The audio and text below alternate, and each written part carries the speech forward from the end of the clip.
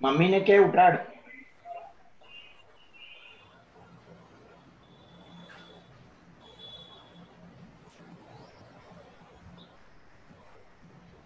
So yes. So now we are live. So we'll start now. Hi, good good evening, everyone. Thank you, audiences, for joining us on a mo- one of the most important and one of the most awaited webinar for our series. and uh, we, we we are there with uh, architect uh, architect Yatin Pandya and architect Hiren Gandhi, who are one of the stalwarts of the architecture industry, and they have been there in this field since ages, and they have been you know making quality buildings, making quality architecture, and they have been enlightening a lot of young Indian architects as well, not only on not only in India but globally as well. So I welcome you all, welcoming the speakers as well. So I hope you all are hale and hearty and are safe. And in these testing times, we have been making a lot of webinars wherein people are actually getting, you know, uh, knowledgeable, more and more knowledgeable. So we have been using using these times to upgrade ourselves. excuse me Gautam ji Yes, sir. okay, there are some comments which I am getting somebody is not able to hear Nilesh Um, Bhatt is to all panelists this is Nilesh Bhatt here he is not able to hear I don't know what Maybe they have muted themselves. So yeah. I I urge and request everyone to unmute themselves because Ah, from here because- it's perfectly fine. some people are commenting like that that's why. Okay. Just hold on. I will also see. No, it's perfectly uh, Yeah. fine from our side. So I think people will be able to hear. They will have to unmute themselves. Yes. I again, once again, request you all No, they- unmute yourselves. They might have to remain muted, otherwise their sound would come, but they will No, be no, no. able to They, hear. theirs Is is already muted. Yes. Okay. They will have to maybe increase their system. Ah, volume. That's yes. Okay. So now about the speakers, I would say I'll start with architect Hiren Gandhi, who's an architect, planner, and alumni of social alumni of School of Architecture and School of Planning, CEPT, Ahmedabad. And he has designed in the past 40 years many prestigious public buildings ranging from high-end laboratories, office buildings, sports complexes, commercial and religious campuses, memorials, hotels, housing both in public and private sectors. And he has been a recipient of Indian Institute of Architects' Excellence in Urban Architecture Award and an award from HUDCO for low cost housing. He has also been active in academic field till date and having taught at the prestigious School of Planning, CEPT, and now involved with other academic institutions as well. He has been responsible for designing high-tech buildings such as building for ISRO and have won many prestigious design competitions as well. Architect Hiren Gandhi's buildings are rooted in soil and always responding to the socio-culture context of the place. His philosophy has always been to create quality spaces and give innovative and cost-effective solutions within the constraints of the pro- project's brief. So we have architect Hiren Gandhi with us. And now coming to architect Yatin Pandya, who is an author, who's an activist, activist, academician, researcher, as well as the practicing architect with his firm Footprints Earth. He is a graduate of CEPT University and has availed Master of Architecture degree from McGill University, Montreal. Yatin has been involved with city planning, urban design, mass, mass housing, architecture, interior designing, product design, as well as conservation projects in, at various places. He has won over 38 national and international awards for his architectural design, research, as well as dissemination. And the most recent ones have been the United Nations Habitat Award, Special Mention, and United States Curry Stone Foundation Design Prize for Sustainable Practice. He has written over 300 arti- articles in national and international journals. Several books have been authored by him on architecture, especially concepts of space in traditional Indian architecture and elements of space making have been published internationally. He has always he has also been involved in preparing over 30 video documentaries and on architecture. He has been visiting faculty at National Institute of Design Ahmedabad and CEPT University and guest lecturer and critic to various universities in India and abroad.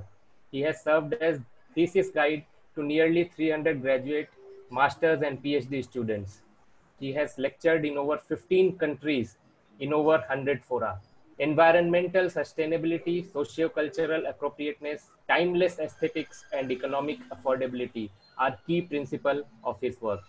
So, audiences, guests, please give him a, a large round of applause. And these people are here with us so that they can deliberate on the one of the most important topics, which are on sustainability and sustainable architecture which we as a human are aspect of nature. Our sustenance depends on harmonizing the microcosm with cosmos. Present context of COVID and Amphan has aptly made us aware about this reality.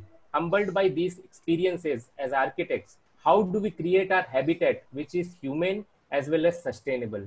The current dialogue is to probe varied approaches and design directions for creating architecture to inhabit in harmony with nature.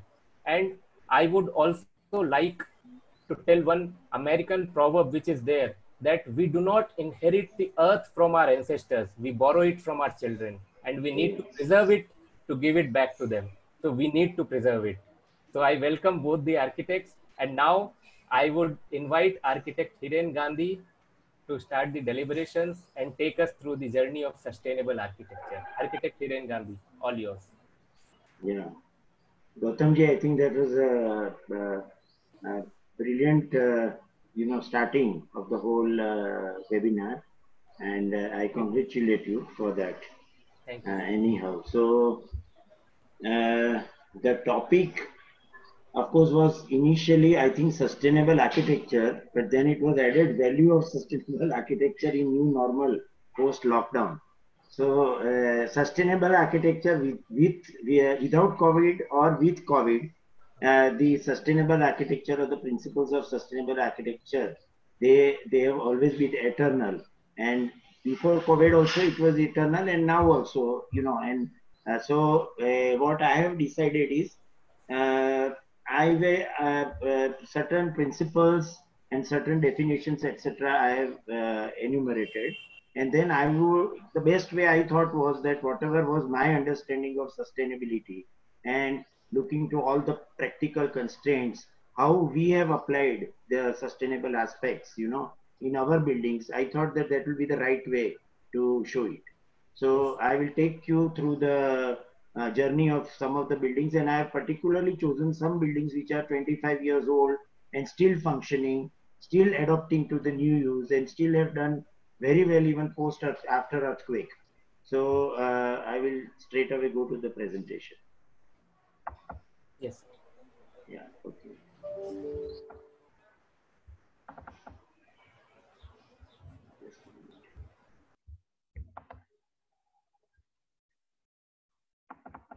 Yeah. Okay, so the title I have given is elements that add value to the sustainability aspects of buildings and spaces. Uh, so what is sustainable? The architecture that is rooted in soil and meets with the need of present without compromising the ability of future generations to meet their own need. According to uh, Peter Buchanan, low energy, these are the criteria, low energy, high performance, replenishable resources, recycling, embodied energy, long life, loose fit, total life cycle costing, embedded in place, health and happiness, community and connection.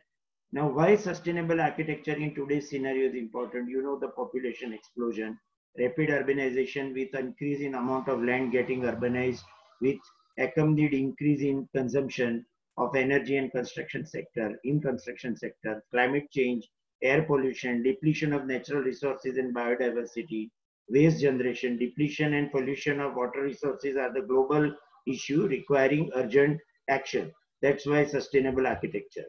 Sustainability as linked to various components of designing is climatic concern, orientation, layout, landscaping, open spaces, site planning, promoting vegetation, topography, site drainages, building form, relation with context, function, safety measures, requirements, building envelope, internal environment, water efficiency, energy efficiency, climate concern systems, courtyard, wind towers, functional requirement and budgetary constraint. The value of uh, sustainable, as I said earlier, architecture is eternal, COVID or no COVID. And what is the new normal? How long the new normal going to be?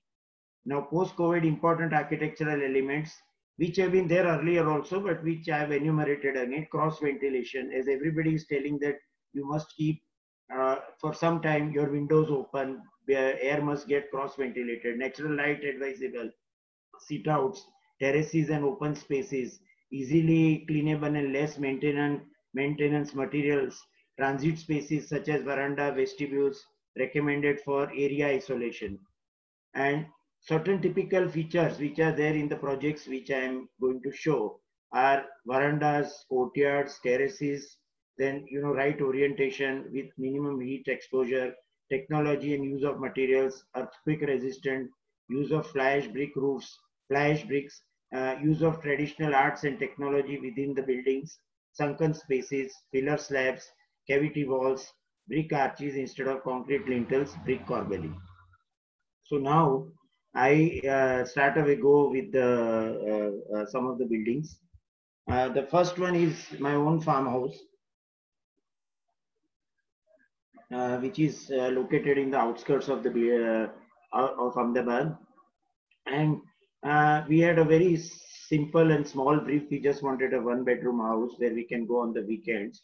And it was primarily done because of my daughter's wedding. We wanted to hold the wedding over there and it was constructed within six months. Now the, the major features of the farm, farmhouse are uh, these are this is completely load bearing construction.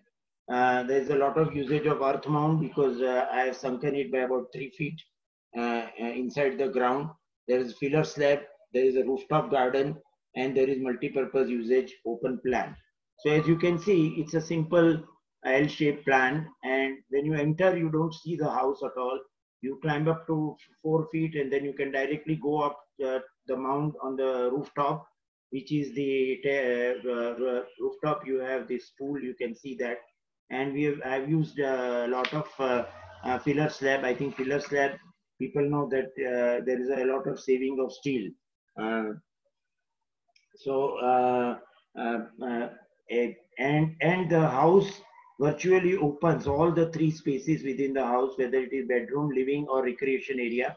Everything opens onto a large platform, which is a multi-purpose platform. And as you can see, the house opens up and the whatever was the sunken portion, there the steps have been made so that we use it for certain functions. The Sangeet Sandhya, a uh, lot of my relatives' uh, weddings have happened over here. Uh, and then uh, we have employed lot of uh, local art. I have Pithora paintings on the sliding doors. There are uh, Molela plates, as you can see, and it is a exposed concrete slab. And uh, the waterproofing has been done in such a fashion that there is absolutely no absolutely no leakage. Now 10 years have passed, almost more than 10 years, but it has sustained very well the vagaries of weather. Uh, as you can see, it is being used for the functions. Uh, and a, the plot had a few Nilgiri trees and each and every Nilgiri tree was saved and the mound was created by whatever was the excavation. And this is the pool on the top. And as you enter, you can walk directly up to the rooftop first. Okay, this is my own house, city house, where I want, where I wanted to show the top uh, photograph is you see that Phad painting, Phad uh, Chitra, which is from Rajasthan, which is 50 years old. My mother brought it, and since 50 years, not no single color has faded actually. So that is the beauty of our uh, traditional arts and the vegetable colors which are used. On right hand side is the mosaic, which we know as the China mosaic, which I've used in the bathrooms. Or this is the backside, uh, the bottom is a backside courtyard where I have done some Shekhawati paintings on the wall sharing between me and the neighbor. And then there are these uh, Molela plates which I have uh, put in those recess niches. Then this is the second example. Uh, this I did for one of the builders. And this is a farmhouse with the mud stabilized uh, uh, mud bricks. And the form is like that of the Kutchi Bhungas. And as you know, the Bhungas have performed very well in uh, Kutch because uh, it had it had performed very well against the seismic uh, uh, forces. Anuj, okay.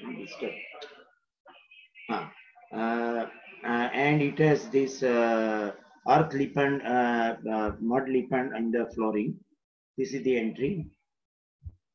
Okay, then this is one of the city houses which had a narrow plot and a long one. So what I did was that uh, it had a long plan with a courtyard in the center and it has some sunken areas like the basement and it had a terrace and then you can see the courtyard.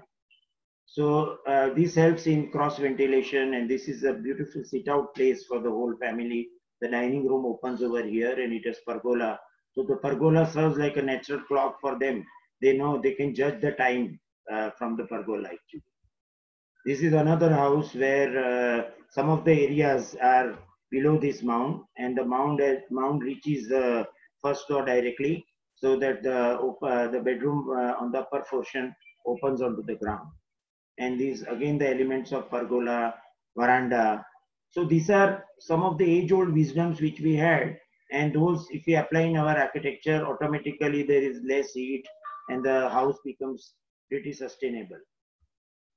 Okay, then I go to the housing. Now, uh, eh, we have done a lot of mixed use housing. Say, for example, this is the Hindustan Petroleum Corporation's office and housing. So we had this ground plus one story, which was in the front, which is seen in the bottom, which is a, a, a office. And then they had a community hall and then above were the residences. And the community hall opened out onto the this terrace and we landscaped the terrace with uh, earth so that uh, the, uh, the office below remains cool.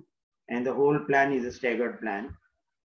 This is uh, again another housing project in uh, uh, Delhi where uh, uh, this is a staggered balconies and balconies, double height balconies. And this is incidentally free in Delhi in the FAR. So, I mean, such things should be promoted because these are really good things. People are very happy to have this double height uh, balcony or a terrace. This was initial photo, but now a lot of people have done good landscaping on those terraces. This was an housing for which we did for the North Gujarat University Patan.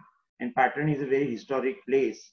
And uh, uh, these were small flats, but uh, each, uh, each flat, the ground floor flat has got a veranda, double height veranda. The second floor has the terrace.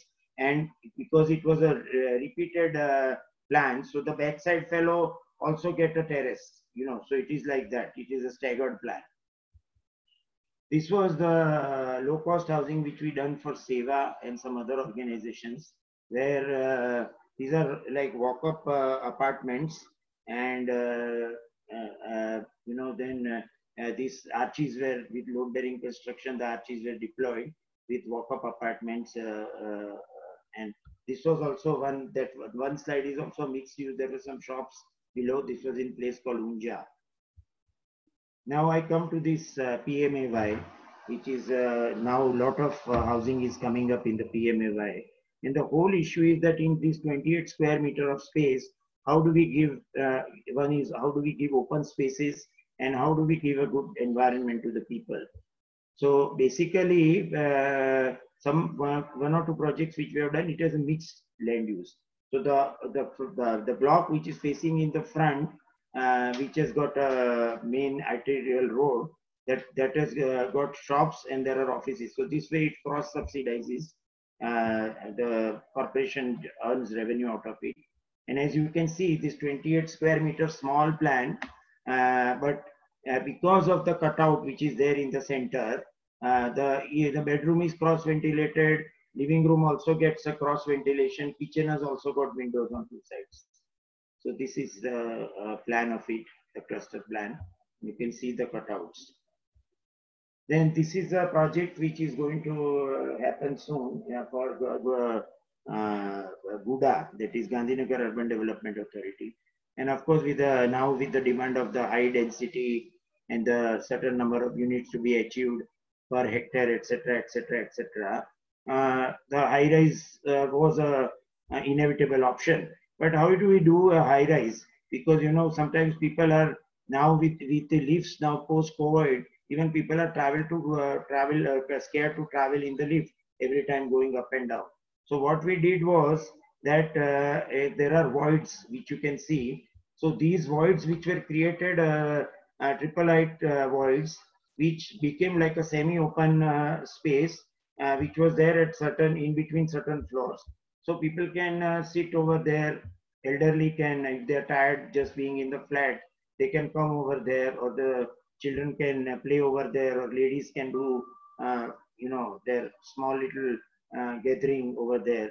So those kinds of solutions uh, we have to think. Then uh, I go to the uh, resorts.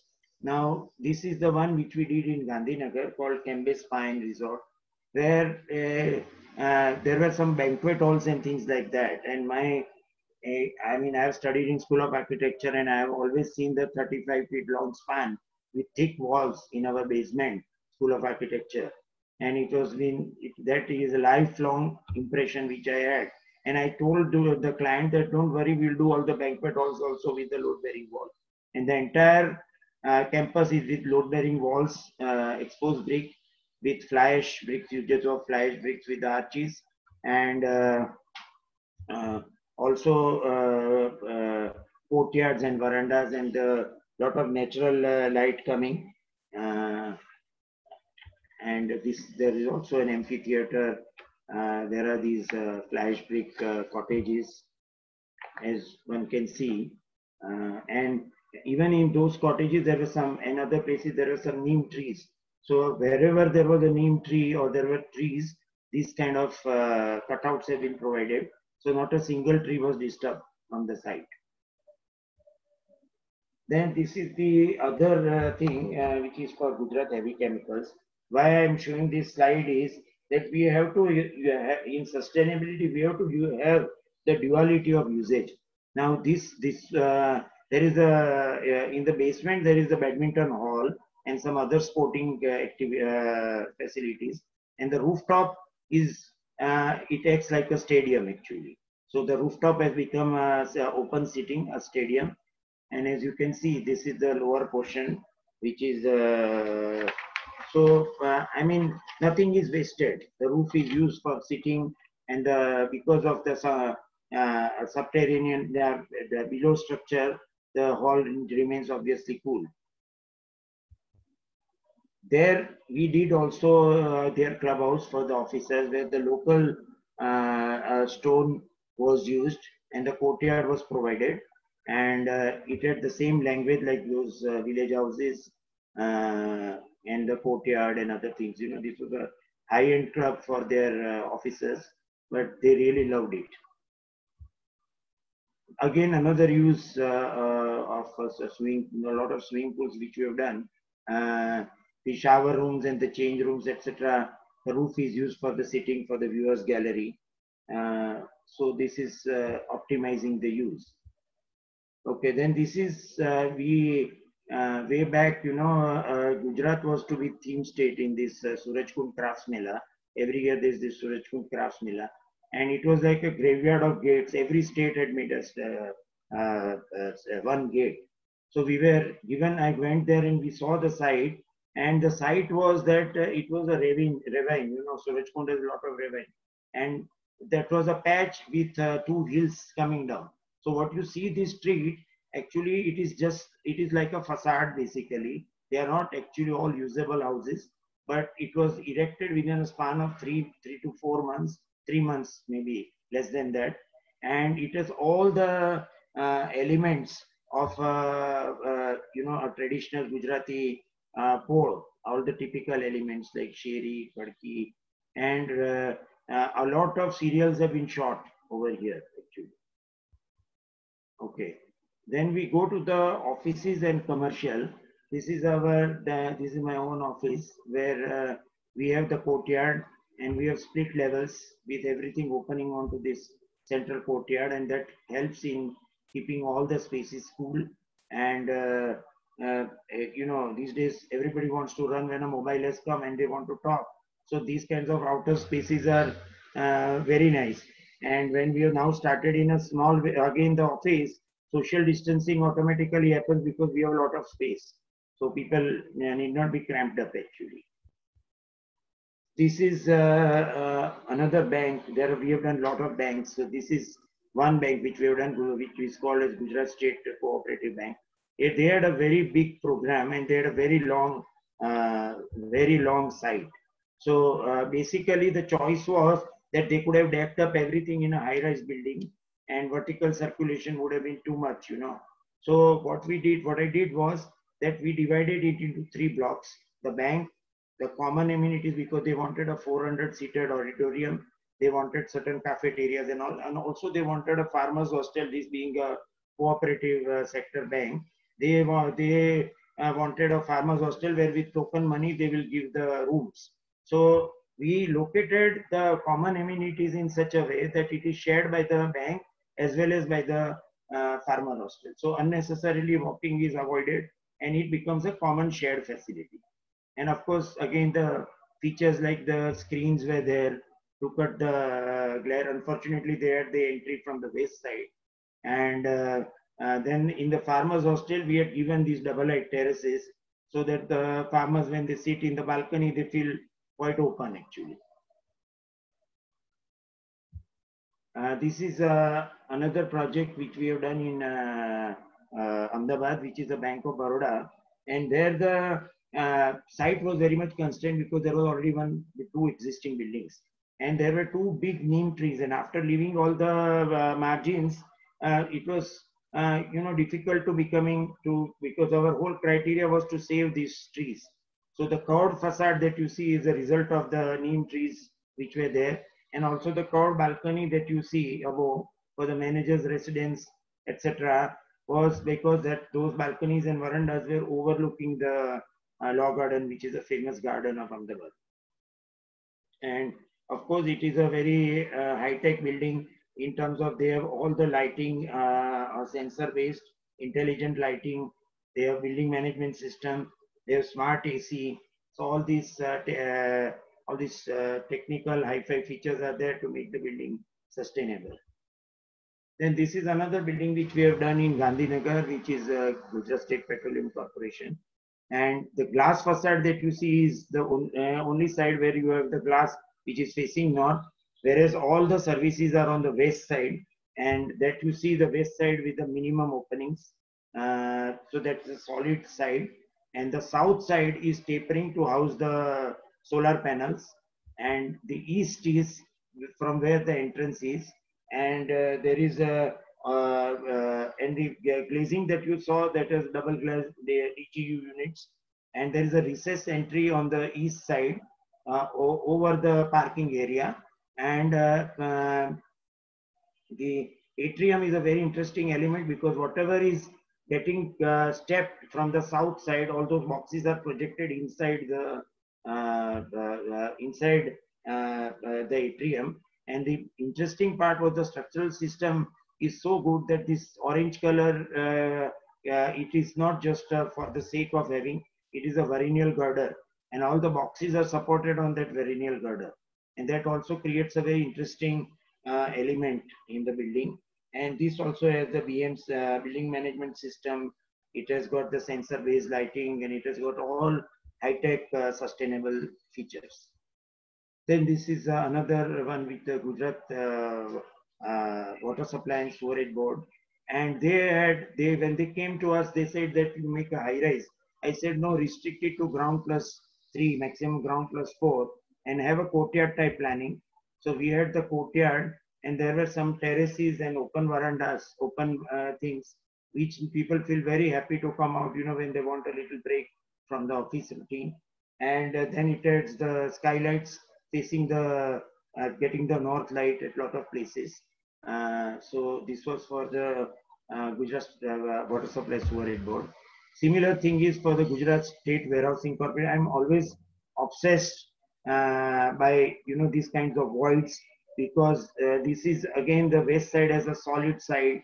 As you can see, there are hardly any openings. And the east side has this punctured opening uh, with the lift uh, uh running in between. And through that void, there is a good amount of uh, cross ventilation. So, uh, and it also gets indirect lighting.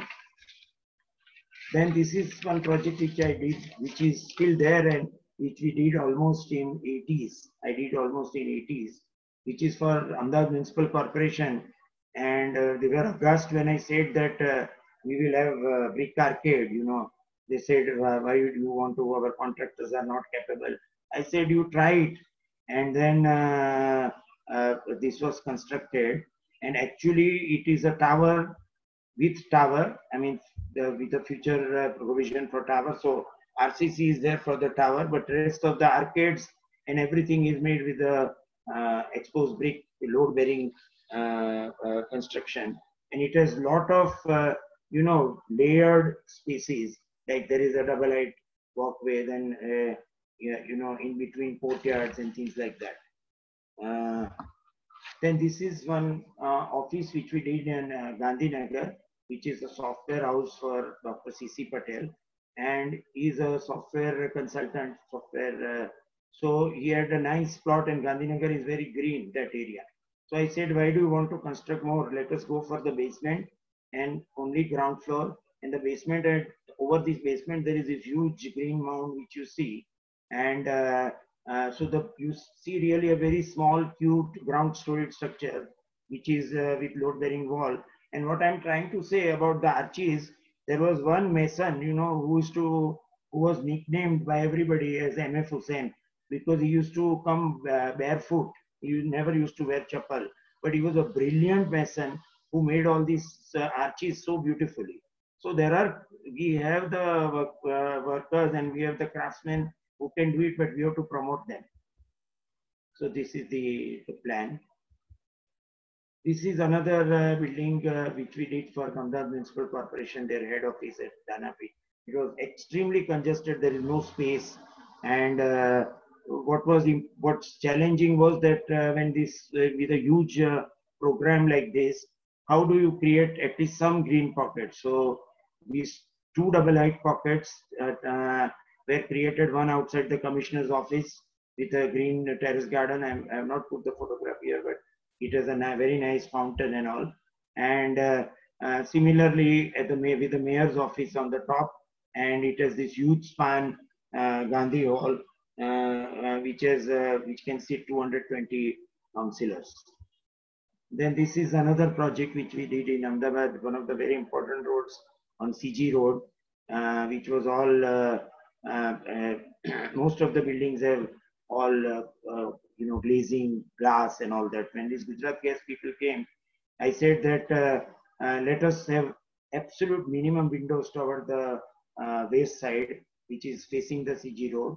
And I convinced them to have a, a very recessed, deeply recessed uh, entry so that the uh, sun, whatever is coming from that side, uh, gets pretty well cut. And there are no direct openings and uh, and this is the you enter through the landscaping which is a raised and actually this is uh, about the parking area. So you can see this is a section you can see that in the section. Then this is for the nabard uh, tower. And uh, that the, uh, they had also a very odd shaped plot. And to design a building within this plot was a very challenging because the, it was and it was also coming at the junction of two but only the redeeming feature was it had a, it was overlooking Usmanpura garden.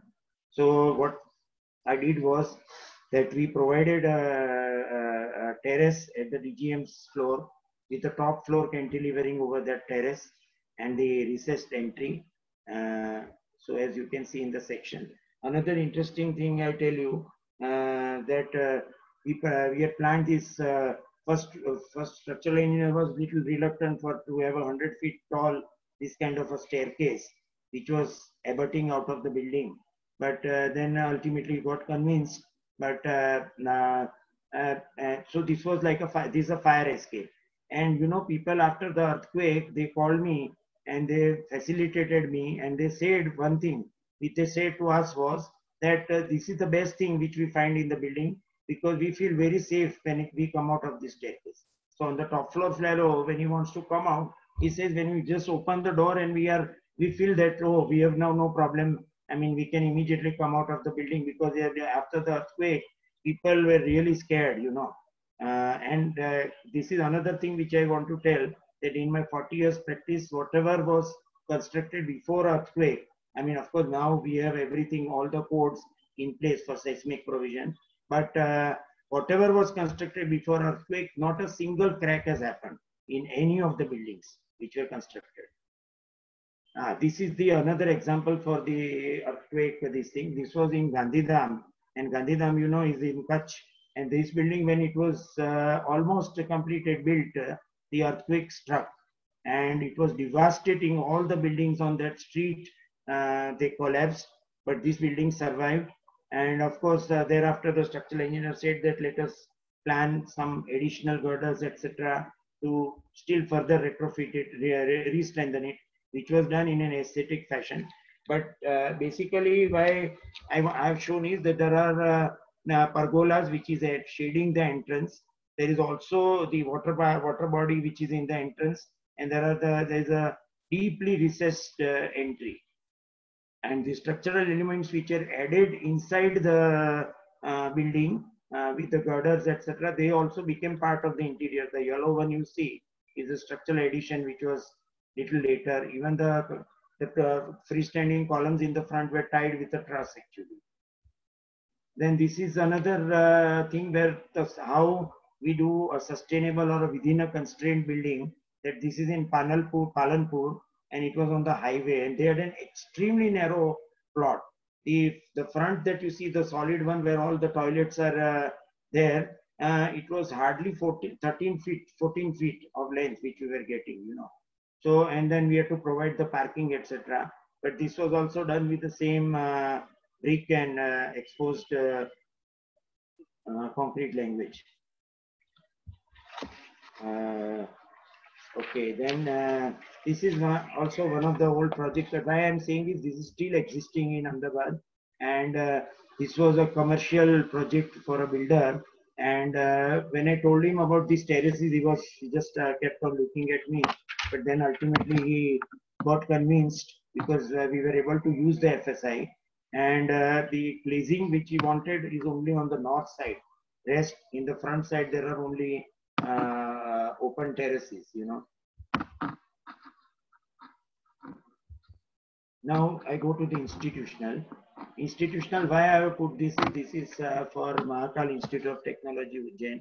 And the, the curved vault that you see, uh, you see, we have the people to do these kinds of things, you know. And only thing is that we have to, uh, you know, promote these kinds of things. I mean, normal person would have gone for just a normal slab or a waffle slab but this doubly curved shell was a very interesting thing. And then we have tried at other places also done it. And the very interesting thing why I'm showing you this is, this is in our, one of our recent projects where actually the curved, uh, this doubly shell was to be done. And it's very difficult, you know, as to do the shuttering for the same. So uh, a very, when I went there and I discussed with them, they showed me this uh, uh, dry cow, cow dung, you know, they, which you use in the fuel. And the entire after the step was constructed in the shuttering the entire rounded portion was done with the uh, dry cow dung uh, uh, cakes. So that was a very lightweight material. It allowed it to make a perfect curve and then this uh, beautiful uh, uh, shell was constructed actually so these are there are a lot of talent you know even even even in remote places then this is one of the recent projects which we completed for the uh, uh, uh SVG hospital, VS uh, hospital, where uh, it's a 416 bedded girls hospital. Again, here also, I mean, balconies were provided because that was overlooking the riverfront. And we used the colors because it was a girls hostel and the the atrium which is the central portion, you know, where uh, the dining spaces and all are opening. Ground floor is the parking, then we have the dining, etc. So uh, uh, we did it in such a way that we are we have these pergolas and sitting spaces, you know, uh, within this uh, uh, atrium, and the atrium also helps in cross ventilating because the hot air will escape always on the top. this is a building which we did for uh, ISRO. Uh, it's a very high-tech building, high-tech laboratory. And why I'm showing you this is that uh, each, the entire topography of the place was very well maintained. So the building, uh, uh, not a single tree was disturbed, not a single contour was disturbed. And uh, what I, why I'm trying to show is that even in a high-tech building like this, the courtyards can be planned. The you can see the sloping courtyard where uh, the functions uh, do do take place, and uh, the, the, the materials are very simple, all exposed concrete work. So this is another example of a high-tech building. How it can be also, and rainwater harvesting is there. All the features are there. Then this is a one why I am showing this is that uh, this is a eye hospital, which is uh, which will be in Morbi, and Morbi is famous for its clay tiles. So uh, this will be clay tile screens which are protecting the windows. So we, I mean, uh, see, this will also promote the clay tile uh, production. You know, this is uh, Shyamji Krishna Varma Memorial, which is a memorial which was a competition design which we won, and this was the uh, the whole idea was of Honorable Prime Minister uh, Shri Narendra Modi when he was uh, Chief Minister of Gujarat, and we won this competition. And it was near the, it is in Mandvi. And again, here the use of pergolas, shaded areas, and uh, uh, why I have put this where is that uh, the India House uh, was to be recreated, which is there in uh, London. So, uh, you know, these typical details of the window frames, the jams, etc. It was quite, there we could find a, a precast contractor who had done everything in this precast, all these jams, everything. And so beautifully done actually, and within the time limit. So there are people with lot of heart, uh, lot of this kind of ingenious talent, which we have to promote if we are talking of sustainability. And again, elements like amphitheater, then we had the mounds. So, many of the areas were protected below the earth. Uh, so uh, that is it. Then this is another small uh, example where in the city area, uh, uh, you know, the electric substation was to be constructed. And unfortunately, the only site which was available space was next to one uh, old chabutra or bird feeding tower, as they call it. So the Torrent company, which is the electrical company, they have this standard, you know, design which is like a dabba. So we convinced them that uh, why don't you make this similar to, uh, uh, you know, somewhat so that it fits in that place. And in the process, they agreed also to restore the old Chabutra and now both coexist. And also the clock was put. So it also became a clock tower actually. Uh, then this is uh, one project which we did for, uh, there is, this is known as Paryavaran Mandir and it is on a landfill. So uh, is a complete landfill where fires were burning at many times. A beautiful landscape has been done and uh, an auditorium has been done. Of course, interior somebody else has done, but we did the building part. Then uh, the, this one is the residual public spaces. How to utilize the residual public spaces. This is under construction now. There is this uh, Bhopal flyover bridge, which is an important junction and this is a heart being created uh, uh, below uh, this bridge. And see, we have to use these residual spaces and and they they first experimented uh, with a temporary exhibition over there. It was a big hit. So now a permanent structure is being done.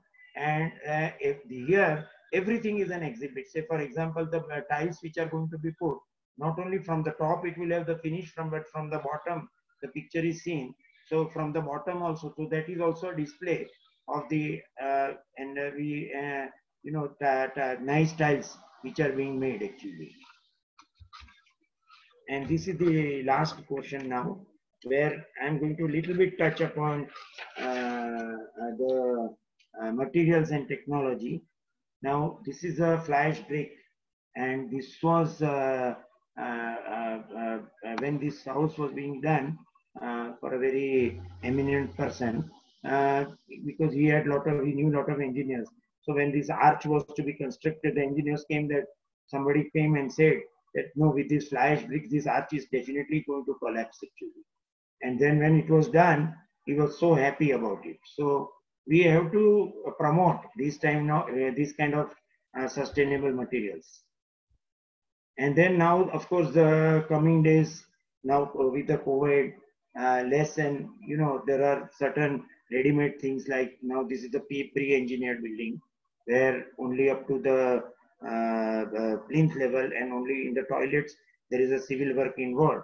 But rest of it is all pre-engineered, so made in the factory and brought and assembled on the site.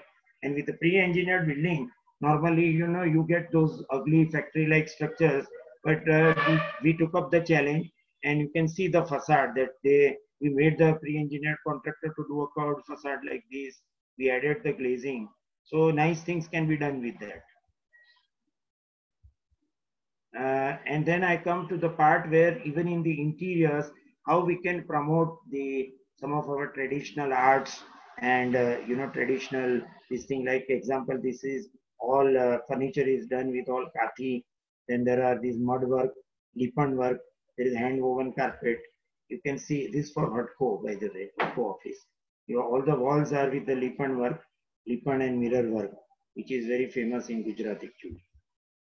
This is another office for Gujcomasol, where uh, this treated bamboo and fittings even with the treated bamboo uh, were done. And uh, a very uh, sustainable handcrafted fabric was used for all the panels that you see in the modular furniture. And uh, uh, chatai were uh, the column paneling was done with the chatai. And lot of traditional art was brought in like the Warli painting over the reception table then the Pithora painting at the as a back screen and then the third uh, third thing is the technology in terms of uh, how to avoid steel so I think most of the, if there are architects and engineers, they know what is a Proflex hoop. And this we used it over the stadium uh, in uh, police stadium in Karai. And again, here also duality of function. The steps that you see below this is the entire sports complex. And the last, I am showing that what kind of material and what kind of craftsmanship is also still available in stone with us so this is the pergola which is there in the Somanath temple, which is facing the sea, because this will remain always permanently because of the saline uh, salinity of the climate. And uh, these beams are available, you know, these sizes of beam in stone are available. And a beautiful pergola is created. Same, same thing, we did it for a religious place called Dakor, where these are the uh, pergola uh, next to the Gomti, Gomti Ghat and uh, the amazing part is that you can see the corbelling which has been done in uh, in stone. And these are all manual, all stone beams, all stone columns. And we have the craftsmen, we have the people who can do it. But we need they need promotion from architects and technocrats like us. So I think uh, that comes to the end of my presentation.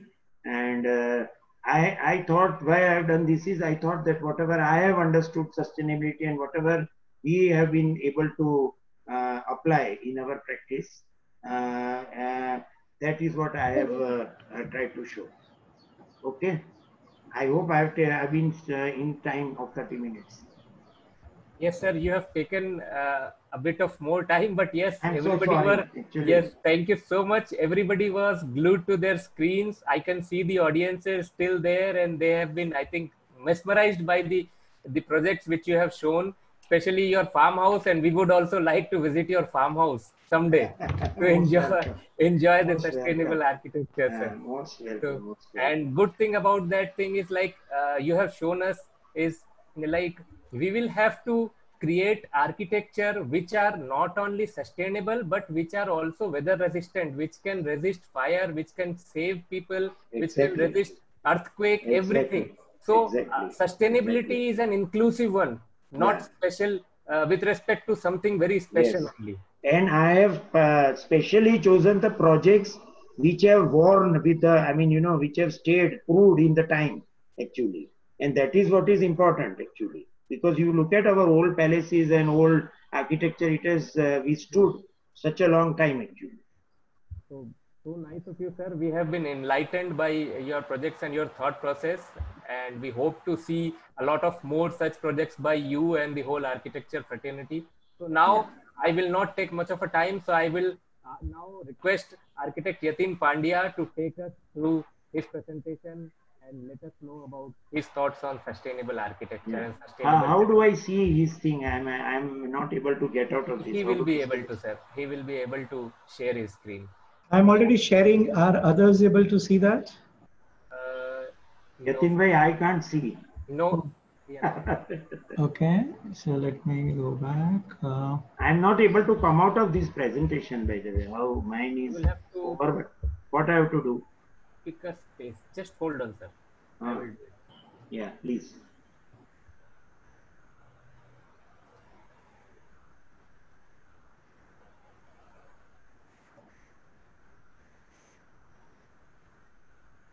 Yes. Yeah, now now I can see. Yes, I can Now- see. Architect Pandya will be able to share his screen. Yatin, sir, now. Yes. Yeah. Shared screen. Uh, how do I see his full screen actually? It will be done, sir. It will be done. Okay. are you able to see now? Yes, sir. Okay. All right. So, namaskar, everyone. Thanks for being part of this on Saturday evening. And I hope everybody is safe and sound. Thank you, Hirenbhai, for setting the tone and uh, running through various aspects. What I'll do is that, uh, you know, uh, I don't think sustainability and need of it is any anymore a point of discussion because this pandemic has uh, taught us or told us about many things. Point is that now, how do we take it further? Whatever kind of uh, junctures that we have been in. So, how do we turn this constraint into a virtue?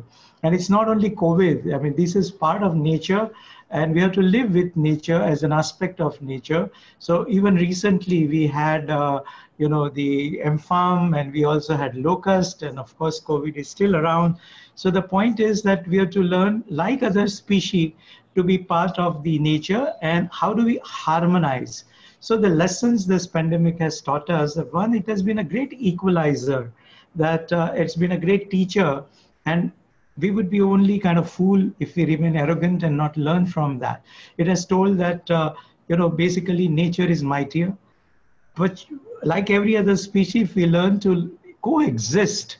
You know, any existence is about two fundamental equation, and that's the basis of sustainability human to human harmony and human to nature harmony because we are an aspect of nature so if we learn uh, you know to be that okay rather than conquering the nature coexist with nature that nature is mightier and we are a microcosm of the same so it has taught us first the humility that we are a small entity compared to nature. All our science, all our technology, all our might, whether it's political ideology, geography has not uh, helped in any way. It's been equally affected to all. Frugality, how in two months we learned this lesson and that brought out creativity. I don't think any of us compromised, but uh, you know our mothers and the uh, homemakers, they did excellent job of opening the fridge and whatever was available, and they still turned out a very delicious dish. From then on to we realized that how many undue trips we were making and uh, what was difference between essential and excess. So it has asked us to revisit our norms and standards to say that we don't have to compromise on performance, but that access is something that we could re-question. And sustainability, of course, that things uh, have to resist and survive, survive happily through all the odds. So these are the kind of dimensions. So with this, where how do we turn this uh, uh, into kind of it's a blessing in disguise? What has happened? Maybe uh, you know unfair and uh, said to many, but uh, still what we learn, we have seen that nature has corrected its own course. And even place like Delhi, we always wondered where in life would there be a clean air uh, with all the same people. How Yamuna has uh, the water has become uh, cleaner. How now we are able to see Himalayas from many places, and even physical solid waste pollution. And now, how other creatures have coexisted in our space, which we thought was only belonging to human. Point is that uh, we have basically understood that we need to coexist. And second important part, which is what we always used to shelter ourselves under, that, oh, we are too many people, and now these resources are this and this. We are the same number of people, and yet all these corrections took place because undue dependence on negative kind of support system which was not needed or which was less needed is something not around the same planet and same number of people nature itself has shown the way. So i think we just simply need to build up on that and rather than debating uh, we need to just see the course of action which has transited from past and continued to should continue to future. And this is where we need to revisit our definition of what is smart and to you know say that tradition is not anti-modernity and uh, unduly don't call growth to be a progress. We need to have our own idiom. I mean this is uh, photographs from all over the world. You can see different names of the country and the visual expression is exactly the same. Uh, this doesn't speak of culture, climate, or construction. Back home in India, these names could be any, and yet the climate, history, culture is terribly different from all place, and yet we have kind of just homogenized it, you know, responsibly and indifferent to anything around. As against, we used to be able to uh, you know, identify place by its uh, context and context as place and people. Sir, uh, sir, so, we are not able to see your presentation, I think. Oh. Yes. Ah, I also can't see.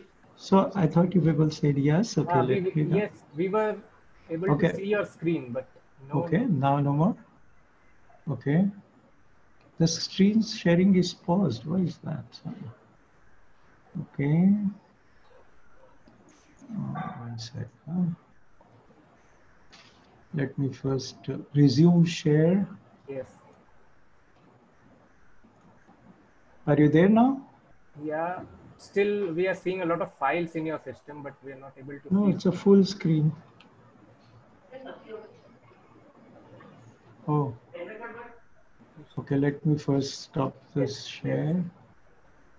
Uh, exit full screen uh, come back to view say share screen and then go on this. Yes now it's now? Yes absolutely fine. Okay i'll just quickly go back just to yes, not yes, not repeat right. my yes. this thing. So this was how we are uh, nature is mightier how we turn it and as i was saying that how positive translation we have seen and this is what we could question. These are the kind of uh, uh, you know images or facades. And facade is an important element of architecture because that's where we interface with the outer world the vagaries etc but ir irrespective of the climate and culture if this is the representation as against both of these are kerala and it is for us at this threshold to wonder which of kerala is for us which of jaipur or which of kolkata okay? So this is where our earlier architecture, which even exists today and lived in, any of this picture you see, it would have at least a, a kind of a echoed about its cultural context, about its climatic construct, about its material resource, and so on and so forth, as against the previous one that we saw.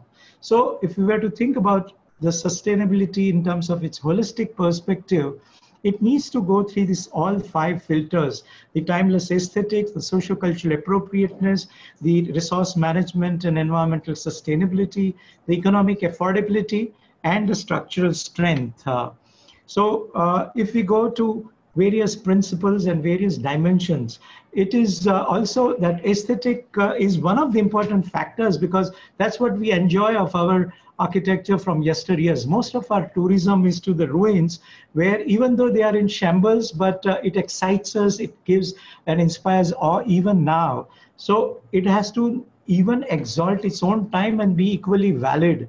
So timeless aesthetic is also part of sustainability so that even time to come, it remains as fresh. And I won't necessarily explain, I'm sure it's evident, but a simple utilitarian device of a step well having to go to the first aquifer, but the way architecturally it has been conveyed, it becomes an event, it becomes a journey to sequentially unfold where you're engaged and how as you take a next platform, your perception, your visual composition, your intensity of light, as well as the kind of uh, temperature, as well as degree of enclosure all changes.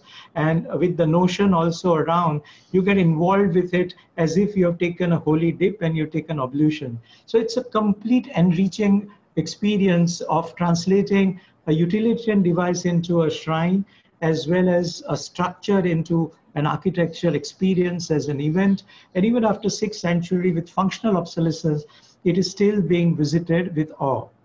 Then another important fact is sociocultural appropriateness. Uh, you know, there was a study done in Japan that if the former CEO's dress was uh, allowed to be flexible rather than three-piece ties and tuxedo, they would have felt the same level of comfort with couple of degree warmer AC temperature. So wrong dressing was the culprit for unduly feeling uncomfort and therefore having to rely on mechanized services. So if people from coastal region and Mr. Mohanlal, he wears the mund and the bare chested, is he primitive or he's the most smartly dressed person for that particular context. We knew Gandhi who knew when to dress and undress or how much to, uh, you know, cover and veil one after the other or unveil do we need that Shashwat or eternal Gandhi, or we need Gandhi to, to align that hot in winter and cool in summer, etc.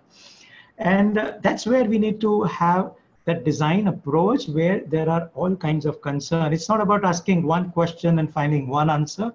Each answer has to respond to several questions of all those five filters that I said.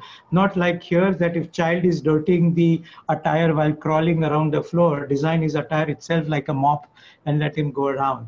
And with so many idiosyncrasies, how we also ourselves define, design quite often.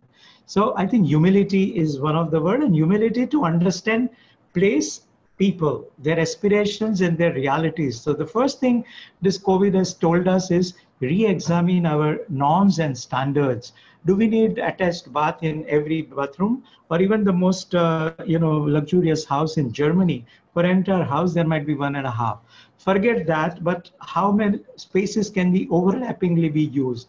Do we need outdoor space instead everything being a room? Because just now we fancy that that it. So the norms to be appropriate to the context as well as more about performance rather than prescription.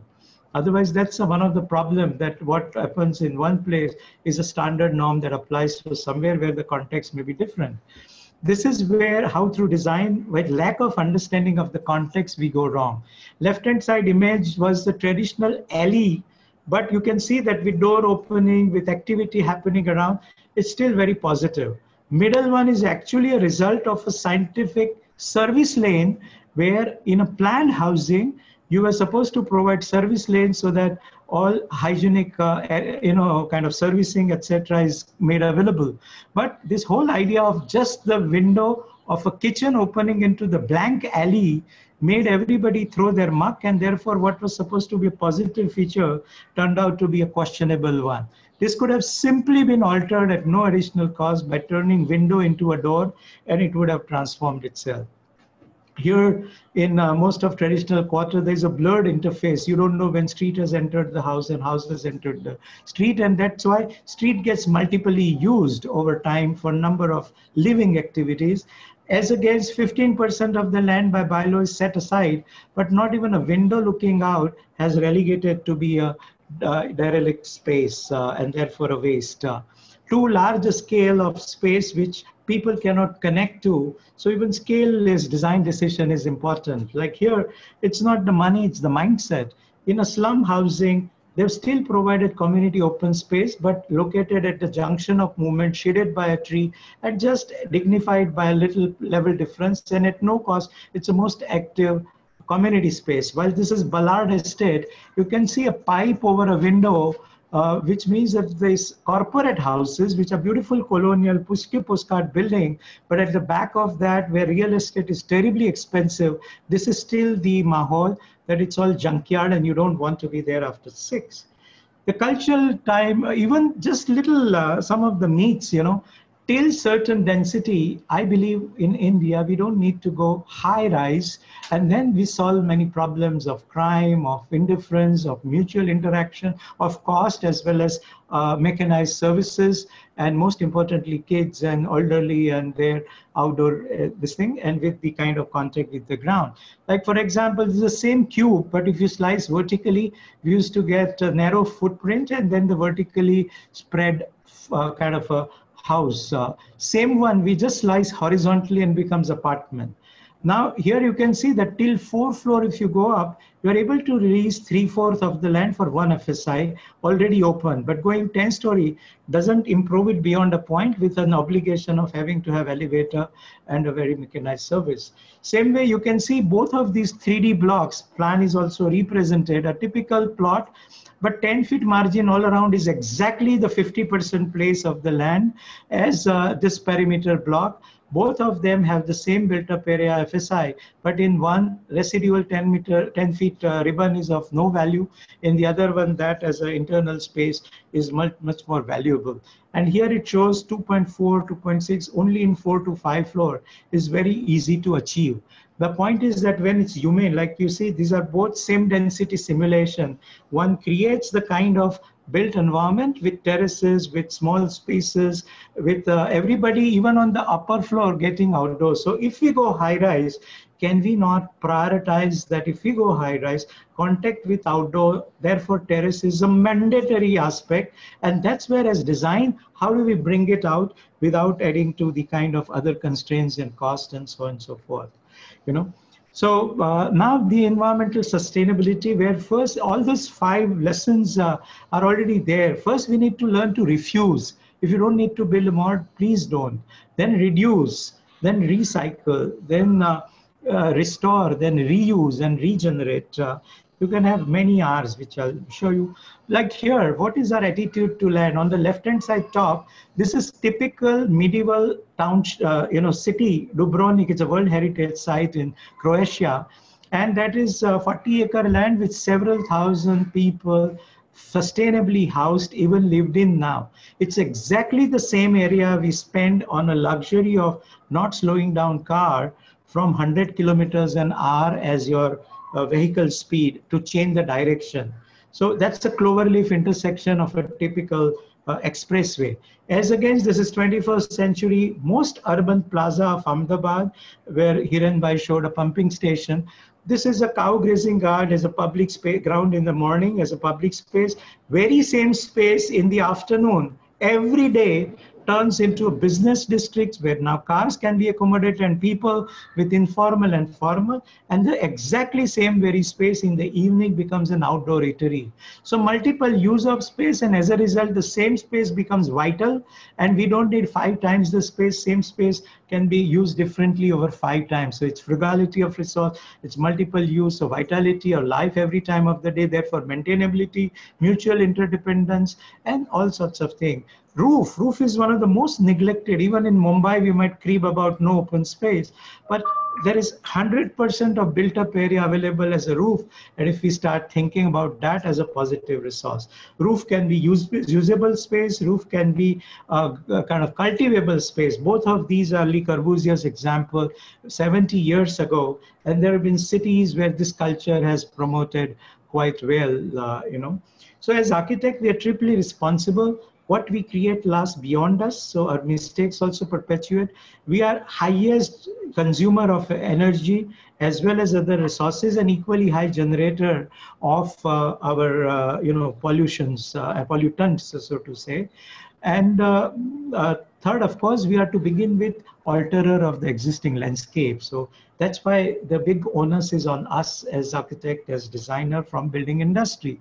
So what norm and what direction should we adopt somehow we have gone to the left hand side like typical laptop but with a bamboo chip over it, we call it a green laptop, you know. The same scientist that coined the term global, I mean, warming, Mr. Wally Broecker is doing artificial tree-like installation, maybe to clean the air, vegetate the thing. Good natural kind of plantation, not do that the direction we need is like these uh, African uh, children innocently and on the contrary fighting to take a, a turn to push this uh, round wheel merry-go-round. And by default mechanically it is connected and it lifts the water to the overhead uh, tank uh, so and then 24 7 you get it. So problem is not technology or its use it's where it is consumed unduly like here you can see 72 fluorescent tubes, 12 hours of night glowing, which could have electrified 300 houses for three hour every night's illumination. So we need to have standards of where what is appropriate. There's no wrong, nothing wrong with technology, but what your, uh, you know, tainted glass can do, two times more effectivity is simply by one meter awning you know. So first go common sense wise have like we used to have upper floor projected mutual shedding. You know from where we have picked up this idea of glass and steel actually these cold places that was very sustainable. This is montreal the bylaw says that do whatever to your building performance bylaw asks you to ensure that even if you put your building opposite footpath should get three hours of sunshine on a day of the equinox which means that's why you have this wedding cake profile, receding upper floor, so that sun is penetrating. So simply put, sustainability is only a contextual adjustment with least for the most, uh, you know. So it's not technology, it's not kind of a big rocket uh, science. It's just what is relevant to place and people. And I always say, it's like you go to a doctor, doctor may be very knowledgeable, but if he can't diagnose and cure you, it's of no value. And he has to treat each patient on its own merit. Uh, right now, every patient need not be COVID. So he has to be able to diagnose that way, analyze that way, and then apply his knowledge to cure him accordingly. And treatment also varies by each condition. So now what used to be the traditional practices which are still relevant, you know, for example, as I said, envelope is the most important component. So thick mass as insulation. Now you would today question, how do you have in urban area thick mass? I always get that question. Point is insulative mass. So today people do double kind of wall. People do in and out. For example, we have two feet uh, available for architectural projection. Why can't this two feet be a storage cupboard? Which my law doesn't allow. But if we understood it well, we could uh, ask for that to be the insulative buffer. So first layer is the external envelope. Same way multi-tiered roofs, cross ventilation can happen. In Ahmedabad, we still use outdoors for many outdoor activities, outdoor as a living room, Rajasthan, we learned that architecture, how that can become a living space. Fenestration, you know, and today the facade can, you know, make inventory onto this, that light, view and ventilation. So how do you get like, uh, you know, uh, you know, we got these, uh, Mr. Baker's houses, where even in contemporary times, Venturi effect to increase velocity, Bernoulli principle to uh, compress and release to microcool. You can get inside out everything view wise, but outside in the privacy and uh, diffuse light and yet illumination. Three part window earlier, you had wisdom that even in Bangalore with the constant uh, glazing, you can't do anything. Even outside is 24, you have to run AC to get inside 24 as against the upper one for ventilation, middle one for view, and lower one for cool air. You could permute and combine and create your, by your own choice the kind of comfort within. We need to diffuse light because sky component is very high. So our uh, gaining light, see, we have no license to have dark blank corridor in a hotel with two-sided room. We need to have at least that naturally illuminated and it doesn't need any artificial ventilation as well. So the roof being used. So this is just an example. Ahmedabad Pol House, it has one and a half times higher density, 2.7 built FSI and more human density than 11 storied with legal 1.8 FSI of Ahmedabad. These are century old structure and still more dense. So please don't ask question that in today's density in urban areas, how could we fall back on this? Because of that, you can see that that upper floor project out and therefore when sun is over it entire thing is in the shade when next building starts sheltering it courtyard was the feature by which inside was not gloomy it was ventilated and that also collected rainwater okay uh, then uh, it also was fantastic aesthetic. It was mass production. No two houses are alike, and yet one carpenter would make 10 bracket, 10 column, 10 something, and permutation and combination, rather than banality of today, would have brought out uniqueness of every user. Every door, you identify your house by the kind of peculiarity of your facade elements, you know. So how do you personalize? You use multiply the space, same narrow street, but it becomes morning a daily chore area, afternoon the kitty parties, the ch children play areas, evening the bird watching and social nukkad. And uh, even the internal space is flexible. And as a sustainability is a way of life. It's not just the building. Like here, the swing, which is a part of most hot, dry climate and culture, at least of Gujarat. So it, what fan does with electrical and mechanical power, it used to be happening with muscle power. You swing on the swing and you get evaporative cooling and it comforts you.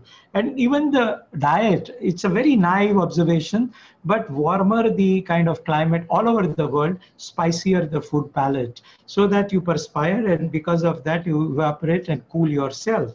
So with these as the kind of principles, just quickly running through a few scales of it. These are not all my project, nor do I want to explain my project, but I want to explain principle. First, the principle of refuse. This is the minimalist, minimalist intervention and we won even this uh, two years ago, the United uh, Nations Habitat Award for this. Uh, where several hundred homes in a slum where three sides are shared with neighbor, their internal last rooms are invariably pitch dark and very hot. So we just came up with very cheap and very simple solutions to illuminate that so you don't daytime need to use energy and also with this kind of uh, dormer etc to ventilate the hot air out uh, and as a result, the quality of life has changed. They have saved minimum 250 a month as electricity bill, their uh, education index, because now kids can stay home and do, uh, you know, homework. Their economic activity, anything between 500 to 1500 rupee a month has increased over before. These are all one year post occupancy study studies I'm talking about and social status. Then reuse, reuse the whole building. We have been able to see that uh, buildings were not rebuilt, but they were able to be flexible to be applied. This is one example. This is Corbusier's uh, building as dilapidated in Ahmedabad should have been a heritage, modern heritage, but was as dilapidated with uh, non-sympathetic uh, use, which we restored and we have converted this into permanent museum as well as there are some offices running there. So first use the resource, don't demolish and rebuild every time. In India, we have many from our past which we can. Then reduce, uh, refuse, reuse, now reduce. It's just an interior uh, for which also with one immersion cup. Uh, simple principle, natural daylight view because again it's also this time in covid we know how much valuable the window is. Just being able to look out has been able to keep us within the home for two months uh, we need to diffuse light so various ways to cut out the glare and yet get the illumination inside planting to improve the indoor air quality as well as eventually once it grows you would have a kind of a natural diffusion etc nature inspired detailing so even when you are indoors you are in some ways connected to outdoors apart from natural light and view even the kind of uh, designing. And there is no denial on the today's knowledge and technology so whatever energy efficient uh, lighting etc then redefine. This is a very rich person's rest. So I'm going also in scale from a simple installation to a kind of, uh, you know, uh, uh, sort of an interior to uh, now, uh, even a residence. This one, the brief was central air conditioning and, you know, vitrified tile. From that, it has been selectively optional uh, some place air conditioning and a natural palette of material. So it was simple massing for north, south, shading it worked out accordingly and uh, you know integrated into the usual aesthetic cavity wall construction central kind of water harvesting and recycling uh, roof water as otherwise uh, treating the water natural palette of material microcosm through courtyard, natural ventilation. This is a natural and this is a formal drawing room. There's no false ceiling in the entire house. And this also ventilates naturally, but you have uh, top uh, glazing so that the monkeys and security is taken care. This is a, uh, you know, kitchen. So no chimney this uh, skylight kind of a gesture it is naturally ventilating the hot air smoke and air you know smell out. And you get very beautiful diffuse light all through the day. This is the courtyard of uh, the side. And even the rooms like this is a bedroom with a staggered glazing so you escape the hot air. And there's a dynamic lighting through the puncture in the roof in double heighted area.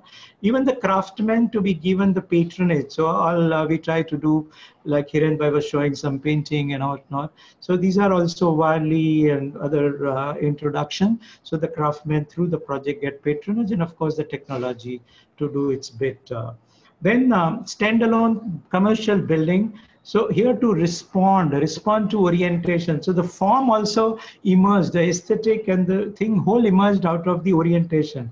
These are four different facades. So left hand side is the north facade. Of course, the crossword puzzle is a natural contemporary jali for natural ventilation of a stair behind. And because the symbols, the kind of they are, it represents that it was a publication house or printing house. So we also took inspiration from there, but it's a natural functioning jali to the north. The middle one is a south jali where sun can still come in at certain angles. So it has smaller holes and these are the contemporary versions taken off from Ahmedabad's various monuments jali. And the right hand side is southwest uh, where you have this contradiction. Southwest is good for uh, breeze but bad for sun. So how do you reconcile that? So these are external louvers with peripheral planting and this client, rich client, owning that entire house, has told me over several years that he has used for. Till February, he doesn't even use the fan. After February, he uses the fan. And in summer, April and May, only when client comes to show off, he puts on the AC. You know, so this is how north to uh, whatever the facade itself, and this is how even it does the play of light, even the kind of these uh, things can make it interactive with crossword puzzles and all that. Now recycle. This is a, uh, is a center in a slum where the typical domestic uh, digital as well as municipal waste has been transformed into building component. Uh, and we did uh, a very long three-year study. Uh, this building was incidental demonstration, but it was all out of research. So the point is that these are not shortcuts and it's not just a kind of a you know, off the cuff, uh, this thing. All the principles are simple, but these have been tested for their strength, for their performance, for whatever, and evolved after many juggleries. So, for example, we didn't use any waste for anything. We saw which waste was not being effectively used. So, the left hand side is a little cement in a sort of a fly ash. We have thermal power station, and uh, it's a hideous way they have to uh, dispose of their ash. So, this was one way and this has been uh, there exposed without plaster and paint for a good uh, 13 years now. Uh, the other one is a waste residue brick from the Dumphill site, like Hiren Bhai said, where he has put an auditorium and garden. Same waste turned into a building component with 75 paisa brick. This is soil black. Then the wooden crate. Wood is terribly expensive, but crate being brittle, you only throw it. And now local carpenter has done a very nice partition. Ahmedabad being dry city, but there are enough liquor bottles to be found. And we have used that on a west facade to cut down the glare and get beautiful glow and illumination inside. And then this also becomes jali, so it brings in the breeze from this uh, dichotomical direction where you need breeze but not the sun. So these I've used even in a farmhouse. It's not the Dukhi architecture for some poor. Then uh, at any party, we have enough plastic bottles coming out and nobody gives you five paisa, even though very high tradition of recycling. So here, the old widows of the settlement got few wages of uh, employment, few days of wages.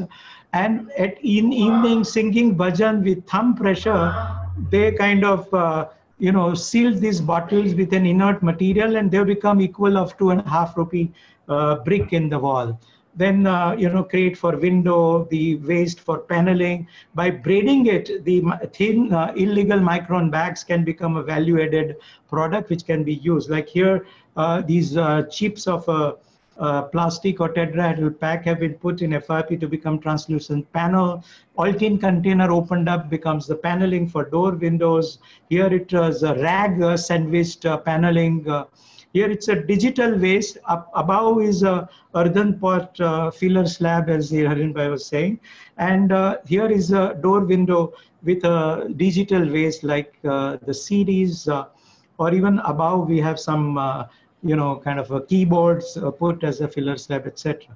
This is um, louvers out of the oil container, ventilator, scrap to turn into interactive door, uh, waste from the uh, you know other construction site to become flooring, filler slab idea. This is uh, filler ceilings with different material. And even the multiple use of space, the same center in the middle of the largest slum of Ahmedabad is creche where the local nannies of the settlement look after the kids when both parents go for labor. So this becomes a cash and they also earn as well as other people find facility. Then it's a school during the morning hours. Then afternoon, it's a vocational training so that young girls of the slum, they also get educated in the computer literacy, etc. And in the evening, it's a community space with even akhada or the gym and so on and so forth. All celebrations are fantastically celebrated. Then a campus and simple principle that how do you do cut and fill just not to import or export the soil, even though your site might be lower than the adjoining area. So it was just the jugglery of cut and fill. Then the planning with the checkered board pattern so that you get nice courtyards which can be outdoor living spaces. Then uh, you know land is a renewable resource. So you get all these uh, vegetation and other things growing. First brick was later planted. First tree was planted along the periphery. And from where you dug up the soil it does the natural soil berming and uh, earth mounding with uh, simple principles of pol houses, vertical projections coming outwardly. So when sun is overhead, entire facade is under the shade. And when it goes low, the projections start taking off. No software use, simple common sense, mathematical principles uh, are more than enough. Ferro cement roof, so very 25% uh, less of steel and cement, no real formwork, etc. And yet insulation through vermiculite and China mosaic. Three-part window in a contemporary way with louvers, punctures, etc. 22 lakh liter has been harvested in this. No water drop goes out from rooftop into underground takas. Then some water ground uh, water into percolating well, then open pond, and the wastewater with root zone is recycled to flush the toilet or irrigate the plant and solid waste. So it's a root zone here. Uh, biogas near the canteen, half of the toilet do that, and uh, also uh, vermiculture, etc. And then uh, waste, gener- I mean resource generation. So regenerate. So here photovoltaic cell to generate without battery, daytime solar energy for pumping, then water heating, and then uh, you know, even the cooking, etc., and multiple use of space. You don't need to build. So the refuse. Every school asks you to have a air-conditioned auditorium, but how many events take place there? Maybe five in the year, six in the year. So here we have no space that can hold more than 100 people, but they have held uh, activities for up to 2,000 people as well. In fact, President of India inaugurated and we had as many people there. Then last one, also in the scale from institute to now settlement, restore and regenerate. And this was also through participatory process. One of the 18 villages, everybody did not have mud. And that's what I say. It's not taking wow by the material. It's not using formula.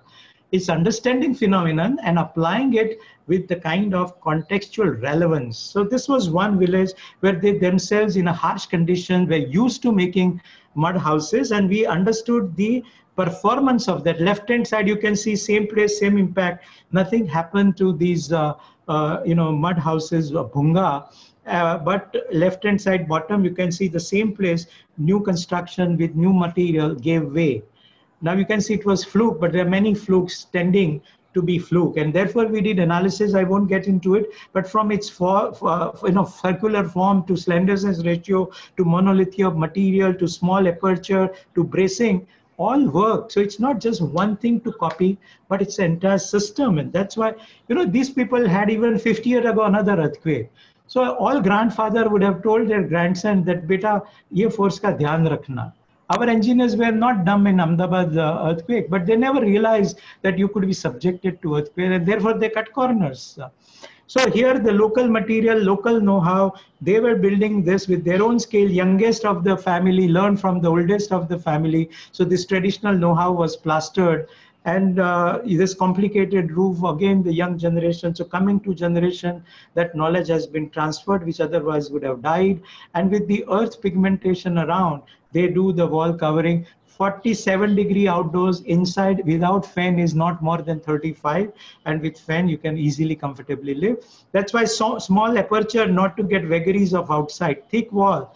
But you don't want gloomy. So therefore white clay and the mirror work. So it's not a decor. It's a scientific feature to magnify light indoors as much. So it's very cheerful that also represents the culture belief etc so the other amenities came in, intermediate technology came in so that indoor air quality is improved so they don't breathe foul air by uh, smoke uh, of the chulas, etc. Solar panels, at least decentrally, one room can get at least the light, even if there's a power off or whatever. And from natural contour, when we dug up the soil to create the soil block for the houses, we deliberately dredged this area. And with three inch of rainfall in the middle of desert, now it's a pond and with pond at their own initiative they started cultivating. So the whole ecology has changed. And in a desert you can see what is the value of uh, water and the joy and the festivities around. And uh, this also had won the united nations award. So after 10 years of earthquake and rehabilitation we were asked to revisit. And there's a whole report and a chapter in a un book of uh, british housing foundation. And uh, there these are recent pictures to show how they have fared after 10 years and have built. So they have adapted to new and yet continued the tradition. So it is not turning backward, but it's being relevant. Glamour and beauty both catch our attention, but one is applique while the other one is integral, and therefore one fades out like fashion uh, temporarily uh, in time, versus the other one remains timeless. And sustainability, that's one of the important feature we need to understand uh, earlier we used to chain a dog now maybe we chaining ourselves. What we have evolved into one technology nothing wrong with technology but what technology does good and not. So technology of telephone brought families together while today's mobile it is even on a dining table isolated. We had surfing we had cctv and we had whatsapp.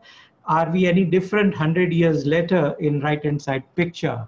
So to conclude, I strongly believe that through design, we can empower, but our goal has to be to improve the quality of life. So whatever we principle we use, it is not for esoteric personal whim, but it is eventually to see the goal that how does it improve the quality of life.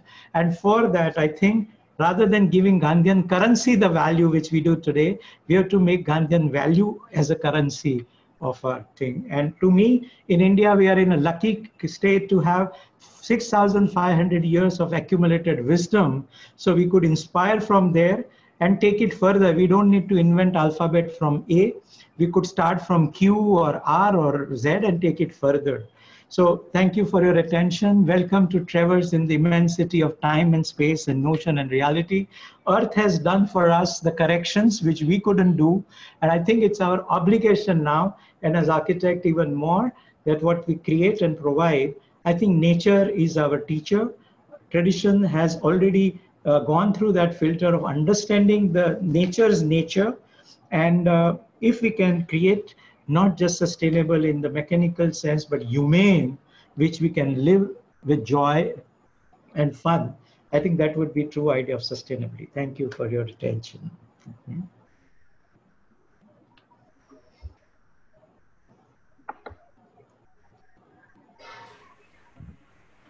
Thank you, Yatin sir, for your wonderful presentation. We have gained a lot of insights from this thing.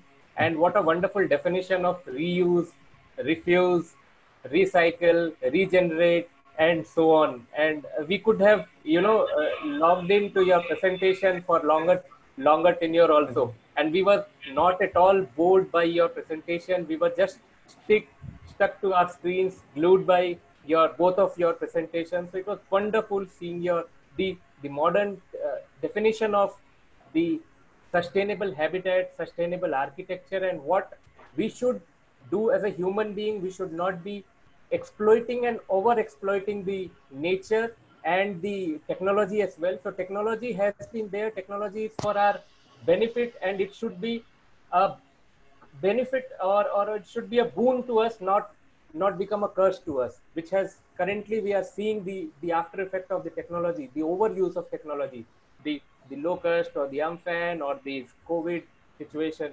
So definitely these are there. So now we would immediately move on to the some of the questions and uh, I would request you to kindly keep your answers short so that we can take on as many questions as that. So in next 15 minutes, we'll try to wrap up the session. Uh, Mr. Yes. Saratwat, Yes, sir. Yeah, yeah, you can take uh, Ajit Pandey if he is available. right, sir. Let me see. Yes, he's there.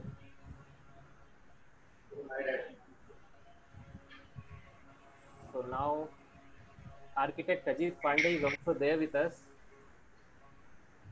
as a panelist. So he will be able to answer some of the questions, I believe. Architect Pandey, you will have to unmute yourself, I think. And also video on. Yes. All right, we can start meanwhile. Yes, yes, we can start. Meanwhile. So Yes. some of the questions which have come like how much does sustainability cost with respect to usual materials? This is Should I answer? yes, yes. Okay. See uh, some of the examples which we saw, right? Now the question is, sustainability doesn't come with any extra money, actually speaking. See, it did not cost to provide some terrace or some veranda or you know thick walls or shaded walls. So first thing is that sustainability is not directly linked as far as all passive measures are concerned to create an energy efficient building. Now the second thing is all the mechanical parts which we are you know which all these high tech buildings are having. Say for example smart air conditioning, uh, you know, and certain other uh, uh, sensor based lighting, etc., etc. Now, of course, there uh, then there is always a payback time that the capital cost may be initially higher, but uh, uh, the recovery of the cost happens within a certain period of time, and then it's like the solar rooftop. You know, the solar uh, you spend something for the uh, solar panels, but then after that you are reaping the benefit for the rest of your life. So to to say that the sustainability aspects uh, uh, cost more, I think it is a myth or it is a folly, in my opinion. And sustainability aspects is the order of the day.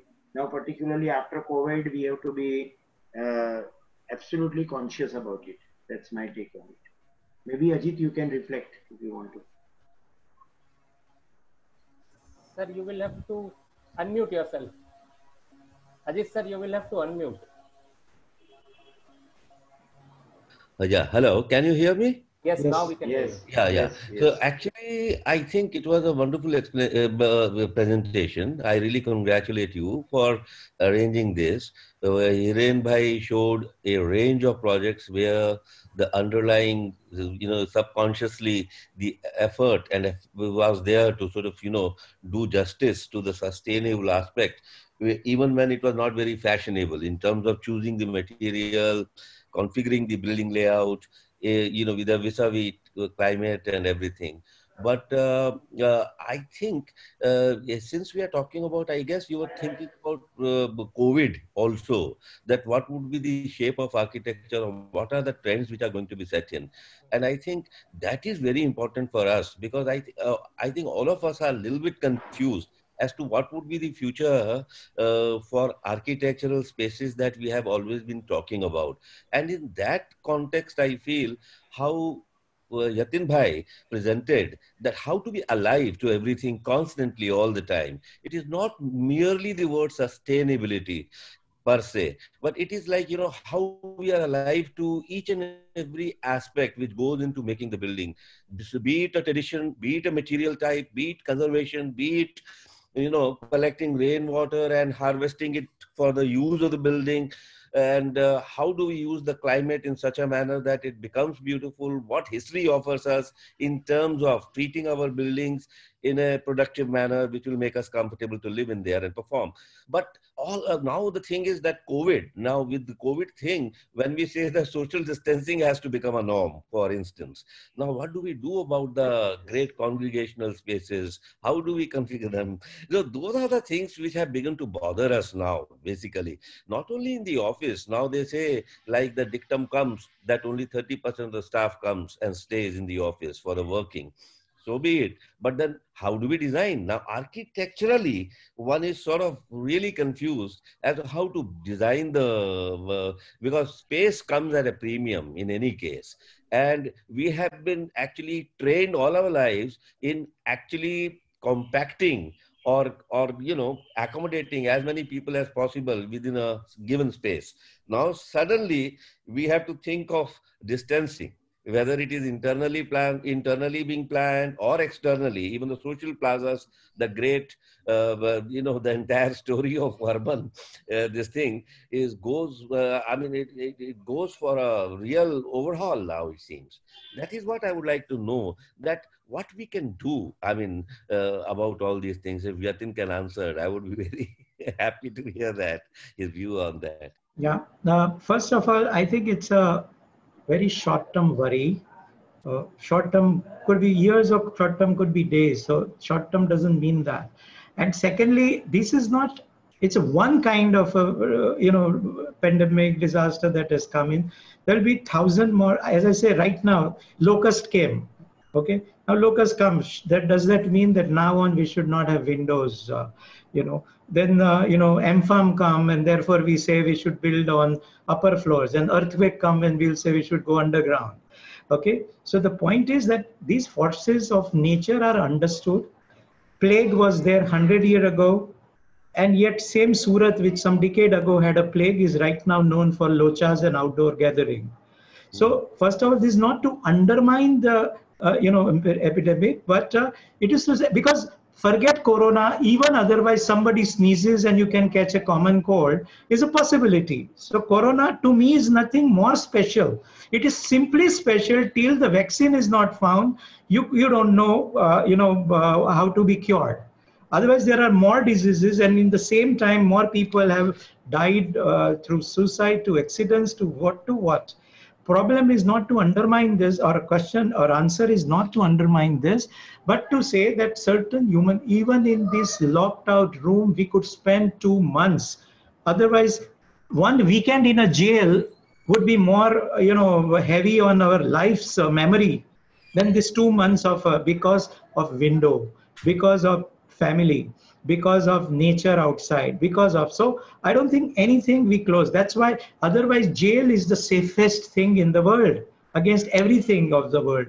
Security thief uh, you know pandemics to whatever. But we don't create jail for that okay? On the contrary i'll be happy that if we re-question our norms. For example if we really see are our offices optimally used just for the sake of staff, we would put them one over another. But then we will have a huge conference room, which would be used, I don't know when. So I think if we judiciously use that, that's what it is questioning us. We used to always know how to have a multi-purpose use of space. So do we need to build conference rooms? Now use technology to decentralize. We learned that like I always have told, not only now, in fact, we had a month ago some seminar, and I said exactly the same. Corporate offices, why are they building their big home? You know, why are there not 20 offices of Adani across the city in different zones? So people from that neighborhood would come, they would even come on bicycle or street. And even if they're physically there, they, uh, most of our traffic is just for cross movement, you know. Why, Mumbai, if you see, like Netherlands, if you go 40 minutes by train, I even have uh, you know written an article with actual uh, kilometers. It is uh, as much as from Colaba to uh, Vashi or even less than Vashi before that Vasai or whatever comes. You know that is the same as entire Netherlands. The stress that I'm talking about from Amsterdam to Delft, uh, uh, sorry Rotterdam. Now it takes only eight minutes to go from one city to the other, but you cross through in 40 minutes five major cities with their own municipality, with their own characteristic, with their own geography, with their own economics, and with everything, his own school. And so, you know, I, I've been going to Delhi for some academic assignment, and every time 15 minutes I have to cross from station to hotel okay? And i can be across the thing. So rather than centralizing Colaba a guy having to spend two hours in a train uh, you know to go to uh, vasai virar, virar or whatever versus so i think use technology for that. Have small offices fewer people but uh, rather than one big empire put them uh, where, where mr mukesh ambani is give him few rooms for meeting you know. So I think those are the kind of mindsets we need to change. Uh, uh, can, I, can I say something? Yes, can yes. I add something? Please, please. Go. Yeah. Uh, you see, after uh, COVID, uh, actually the transient spaces, no, the spaces which you, which in our traditional architecture we always had an angan, or you know, a, I mean, we call it in English we say vestibule actually, but it, those those kinds of spaces have become very relevant in fact, uh, uh, one of my client, he stays near my house and during this COVID time, he thought that probably let us utilize the time, you know, for doing something. So he told me that आपका बहुत बड़ा veranda है ना उधर बैठ जाते हैं actually instead of sitting in an air conditioned space, you know. So a, a similar thing, I mean, maybe now what I hear is that before you enter a complex, people are sanitized, you know. So, like what Yatin was telling, okay, supposing if you had a good size vestibule or an entry point before you enter the real, like what we had in our temple, you know, like the uh, sanctum sanctorum you went, you had so many layers of spaces actually. So maybe that that may be now relevant in today's time because actually you want more and more layers where people are you know, or maybe really happening or not, but you have a psychological satisfaction that yes, this guy has gone through this this sanitation, he passed through this area of my office, and then he has come to me. Something like that. And what uh, you know, there's also other theory, and many European countries have done the mass immunity. That actually we have to develop our own immunity, and that only comes by getting mild infection, and therefore our bodies would generate antibody right now most no that's a fact and this no, is, no, uh, is right. no, uh, what is done no, there is no treatment right now there's no exactly. vaccine exactly. this is the only way body is made exactly. to fight back and you develop your own kind of uh, resistance but that doesn't mean that you uh, expose them but this is also where yes, yes. people have to be immune to this i knew a doctor whose grandson he would give mamras kurmura not on the plate but on the floor of a house so it's relatively clean and it would make him crawl and eat that that, he said, itni immunity to abhi se develop karwani This is a fact, first hand, this thing I'm saying. And lastly, right. about technology, which technology are we questioning when we're saying that open a window? It's a fresh air you're getting where arguably natural air is better with uh, air, I mean, vegetation doing its bit. As against, most offices are laden with split AC, which has zero fresh air coming. It is the same one being circulated.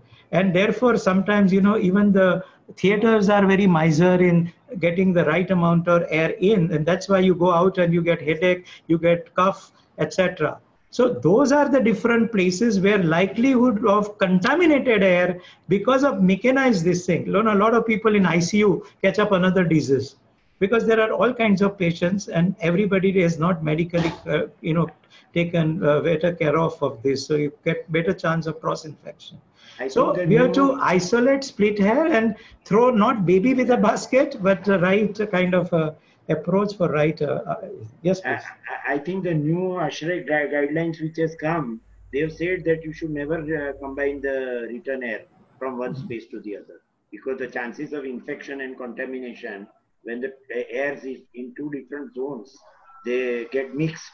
There is a chance, and there that is uh, two three recommendation no? they've said uh, about 26 uh, degree temperature so that is like you know just a comfort cooling always open your windows have cross ventilation so i think in a lot of things we are going back to our age old wisdom you know no no tcs for instance uh, the one of the largest consulting groups they have said that from now on, uh, 75% of the people working From there home. are going to Yeah. be working from From home. permanently. Now, yeah. Just imagine. So that will have such a great implication on Yeah, how things are going to shape up in urban areas. and Yeah, but that's what I'm saying. That thank God. I mean, in another sense, I'm not insulting those who were affected, but because of this pandemic, we started seriously thinking. But otherwise, working from home has been a norm since 10 years for several companies, but they never formalized it. You know, how many of Indian IT graduates are right now back in India after staying 10 years US and still working for that company from here? You know, so uh, we had that. So technology was there, application was there, but now priority to do that and sensibility to do that has come in. Yes. I think there are a lot of questions, no? That Yes, from the Nice. So now we'll move on to another question also, sir. So we will uh, take them up uh, in as short as possible. Yeah, How can is- one smartly Yeah, use yeah. materials like brick, mud, mud blocks, rammed earth, uh, Adobe to replace concrete and steel in modern high-rises buildings, where rapid construction and structural stability is more essential compared to sustainability in terms of building materials? Can Can I just, okay, please go ahead. Go ahead. See, basically, uh, you have to divide into two parts. One is the frame, you know, the structural frame, which which is okay if it is in steel, the steel, I mean, st- steel structure or uh, say concrete. Concrete also can be smartly designed. But there are a lot of things which go as an infill, actually, which is not having any structural implications. Say, for example, you can always use a, uh fly ash uh, cavity walls uh, within the uh, building or uh, uh, i mean you know there are many many materials which are actually even though you are designing it as per the latest uh, codes as far as earthquake is concerned there are many materials which you can use which are like what you said fly ash bricks or mud stabilized blocks or even in the high rise. I mean because they are not carrying any load. So th- I, I hope that answers the question. I mean, Yeah, the use I was of going to- for instance, and uh, Yeah, please go on. No, like even No, plastic bottles. The point is that as an architect, that's where you have all technology, all possible application. You have to wait what is relevant for what. And I want to answer this question in two parts. First, it's a wrong question. I mean, no, no insult. I'm just saying this comes quite often, but it goes with that. Why wrong? That it's an assumption. Moment we say brick and con- uh, you know uh, mud, it is ancient therefore past, therefore not today. And when we say steel and glass today, it has nothing to do with material as representation of time. Each material has its own characteristics. Hmm. For example, concrete we think is always strong, but without steel, concrete is the weakest material you can find in the earth, worse than the brick because it is brittle it can you know because just concrete is only good in compression only when you insert tons of steel it becomes strong. You have ugly beam coming out. Earlier you had brick domes and it was also giving volume and space and aesthetic and we think that is primitive. And you have ugly beams coming out every now and then because concrete has to have that depth of a beam to span that and we think it is strong. We are compromised with that. So first it's a notion and i'm the last person to say that you have a vow that i'll only use this material. No you have to use appropriate there's nothing like good or bad right or wrong it's always appropriate or inappropriate now coming to high rises there is more a reason to not use mindlessly the kind of material we are using. For example, if I have a concrete frame, so be it, that's the lightest thing in the mass. Can I not use even paper as an internal wall because not taking load as Hirenbhai was saying that they are you know partition walls so you don't need thick wall. You need you could use like I said that we made 75 pesa brick. Now it is typically we have done all earth uh, you know compression tests and whatever. They are not as strong as the other brick but they are stronger than the gypsum and other things. Uh, and uh, it can be done at 75 rupee a brick cost in no time the cheapest solution least uh, weight and it is an infill material. As against like he was reminding me the glass uh, this thing or a plastic bottle but it's an infill material that with zero of that kind of a cost you could make a whole this thing out of it uh, you know likewise. Now where what is a resource against what? So it's always you know comparative analysis. That's why it's a, not a formula that has to be mindlessly applied. You have to evaluate pros and cons. You know where we use the recycle they were themselves a rack picker in the whole and this was supposed to be a demo. So they adapt and some things they did pick up. Something has to need some other help and do it and likewise. So it's a concept. It's a principle i'm saying.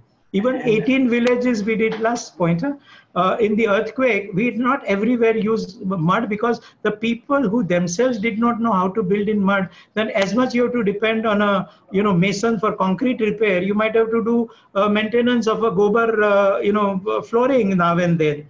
So those who knew and could do it is where that was applicable. In other place, something else was. So it's not a it's not a formula film. Then you get this masala film, one cabaret, one uh, you know villain, one stand up, one stand up comedy. Then it's a lousy film.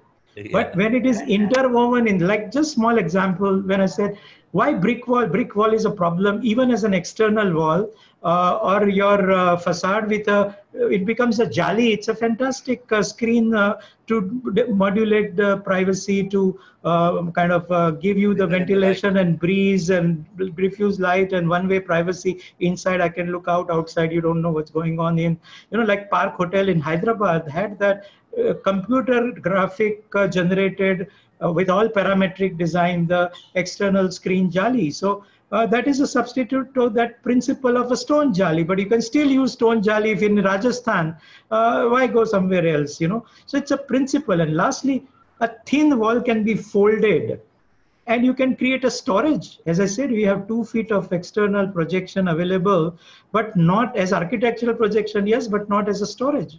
If you use it as a cupboard it will insulate with a thin wall not having to have thick wall. I would like to add one thing. You see it is because of the commercialization and poor production that we have blamed so many of our traditional materials. Like say for example brick. In fact, it has been proven that the structures which were built ground plus two story, three story during earthquake with load bearing construction, they have performed better than some of these soft storey construction which were not from in RCC, which were a lot of them have collapsed. In fact, what is wrong, you can easily do if you if you do a 14 inch wall at the base, at the ground floor, you can easily construct three floors with nine inch of uh, walls above, which can be a load bearing. Yeah. But we have now what is what is a practice is that everybody wants RCC के column खड़े कर दो, beams लगा दो, and then brickwork जैसा भी होता है ऐसा ठोक दो. You know that is what uh, uh, brickwork में कोई ध्यान नहीं देता है. And that is why the quality of brick has deteriorated, which uh, that municipal market which I showed, which was done in 80. I got those bricks. There was one product uh, production called Bafna karke ek aadmi tha. He used to make that bricks, you know. Then I met him after a couple of years. Okay, sir, iska koi demand ही नहीं है. मैंने बंद कर दिया production. So this is this is what we are doing, you know, to uh, you see. So it's a, even whitewash, say for example, जो चूना लगाते थे, that is we have spoiled the name because we do it in a very shoddy way. Ajit, you can add. Yeah, no, you, you can add. No, but I think uh, the the the, uh, the most important thing is that we have to be constantly alive, very much alive to everything which is surrounding us, whether it is the material, whether it is the context, and whether it is the relevance. And then, as uh, Yatin Bhai had pointed out, we have to be constantly evaluating and sort of you know figure out what would be the best in a particular situation. And that is what uh, i mean uh, uh, we need to uh, take home i think to my mind. That's very very important actually. Good sir. Thank you. Next question. so we have we have uh, actually we have touched upon many of the questions by each of your versions. So i am just asking you to uh, respond in one liners like does using recycled plastic water bottles and keyboard affect the carbon footprint uh, see, I'm not saying make uh, new bottles to make a wall. Fact that you have bottle that that bottle does nothing but remains inert all along. Using this this way, you are not five paisa material is equivalent of a functional and useful resource with somebody with value addition getting employment, no pollution, and insulated uh, wall, uh, equivalent of two and a half rupee per bottle. And it is the disposal of the waste, which is even more Absolutely. important. Otherwise, Yeah, so less pollution. Actually, you see, making it disappear. So Hmm. it is much better that it is made inert and useful, uh, reused. I think that is something which is very, it's a great service to the uh, carbon footprint business, basically. I think it's a very uh, uh, welcome move to use such materials. But what happens many times is people want to do something just like a fad, you know, or sometimes just to display that we are sensitive. It should not be that way. It should be relevant to that place. That material, waste material should be available. You know, like the fly ash bricks are being made because we have huge wastage from the uh, Thermal power station, thermal yeah. power stations. So, No, one like here- make Yeah, Ah, no, you're right. Uh, just to support that point, here we have used, I don't know, 14 types of waste in 14 different, we made it as a collage, but each material or waste has been applied in its respective, uh, for example, glass bottle on a west facade, because west being low sun, no overhang would cut down the glare of sun coming in. And evening classes and all that would get a lot of glare. And also west is a, southwest is a direction for breeze. So therefore, upper area has those punctures for uh, breeze to come in and ventilate from top naturally. And the glow of this gives illumination, but not the glare. Mm. Okay. So they have been very strategically located, each of them where they would come. You can ask the next. So should sustainability be taught from basic education?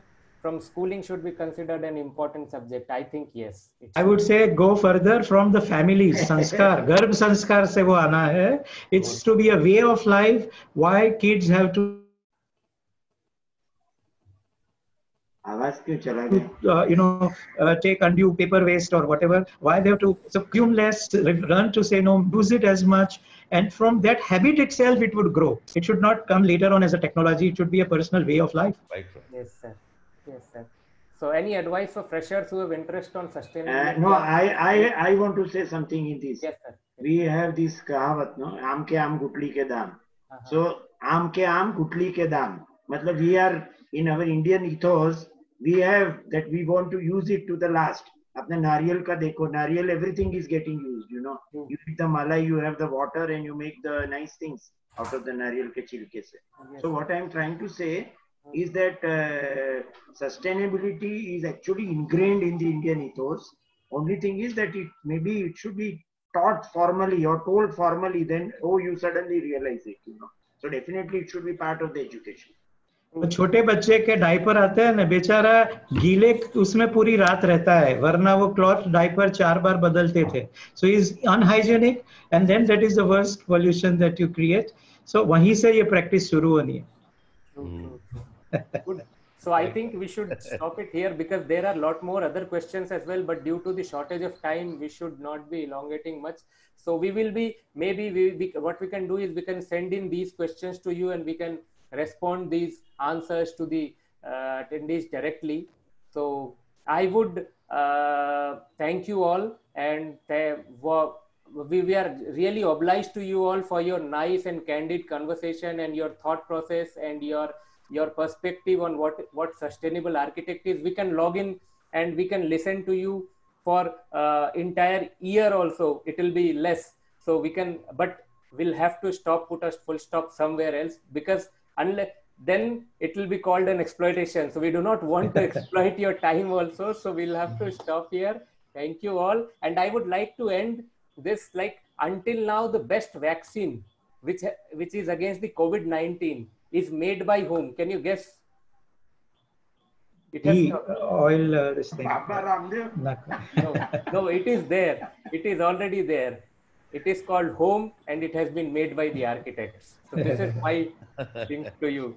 Oh, I see. Yes. all right So You had a different take. Yes. yes. thanks everyone for Thank staying you. along uh, and stay safe Archi- and be architects positive are part of the society, so we have. they are the we first also learn terrorists From we are the first terrorists to be blamed for wrongdoing. So first we have to put finger at us and then the rest of the world. There are good Okay. things. We'll have to look at the good, good and best aspects. And I hope uh, Bengal is recovering from all that uh, Yes, big sir. uh, we will, cyclone. we will, we will, we will recover from cyclone. We will recover, recover from Amphan, COVID, everything. That zeal Sure. has to be there, and I believe Exactly. it is there. Okay. Time is a cyclic feature and destruction brings new construction. That's how we have believed. After death, there is rebirth. And after construction, there is destruction and reconstruction.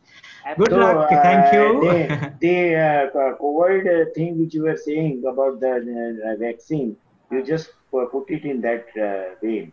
You wanted to put the architects on the spot, actually.